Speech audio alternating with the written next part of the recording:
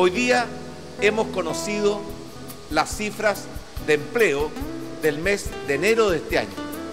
Y esas cifras muestran que la tasa de desempleo en nuestro país, que hace muy poco tiempo atrás era de dos dígitos, hoy día es de un 6,1%, lo que es una situación cercana a lo que se denomina pleno empleo. Pero además las cifras muestran que entre marzo del año 2010 y enero del año 2014 hemos creado 980 mil nuevos empleos. Esto significa que estamos muy cerca de lograr alcanzar esa meta que nos habíamos fijado de llegar al millón de empleos en nuestro país.